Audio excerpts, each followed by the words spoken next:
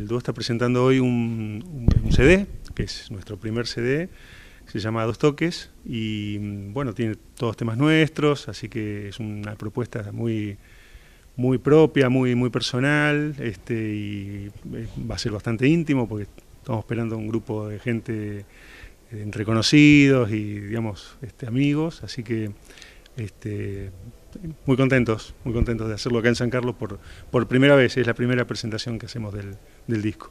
Eh, presentanos un poco a quienes te acompañan. Bueno, este, Sergio Chiconi, que es el otro miembro del dúo, y está Pablo Minen, que es de Santa Fe, toca la percusión y grabó con nosotros en el disco, y Sofía Ferrero, eh, violonchelista acá de San Carlos Centro, este, que también grabó con nosotros en el disco, y bueno, este, se sumaron a la presentación hoy.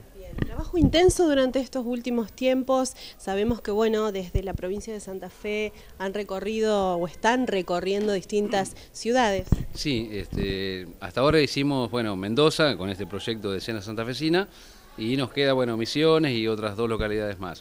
Pero bueno, venimos trabajando bastante bien en los dos años que tenemos el dúo. Este, sí, bastante bien. Para las épocas que estamos, bastante bien. La construcción de este CD en relación a lo que es, eh, digamos, la selección de las canciones, lo que ustedes pudieron aportar, ha sido un trabajo colaborativo de todos. ¿Cómo lo fueron armando?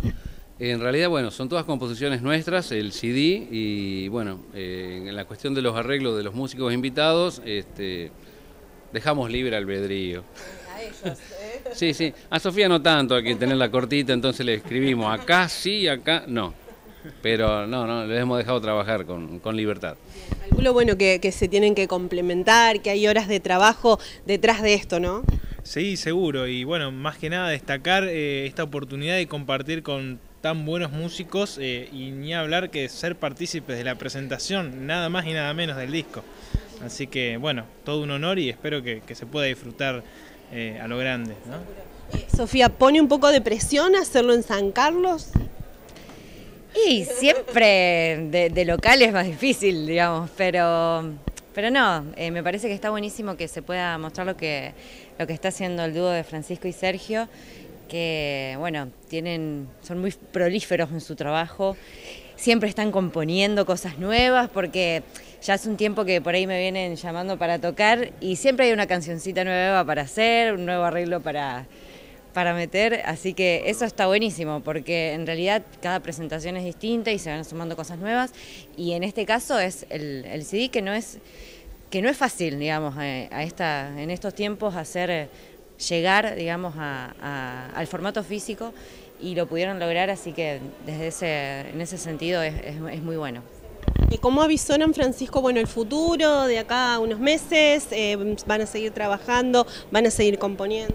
Sí, por supuesto. Eh, lo que queda del año, eh, medio que la agenda está bastante circunscripta a, las presentaciones que comentaba Sergio de, de Santa Santafesina y vamos a hacer otra presentación del disco en Esperanza, porque si hicimos una en San Carlos tenemos que irnos a Esperanza, Sergio es de ahí.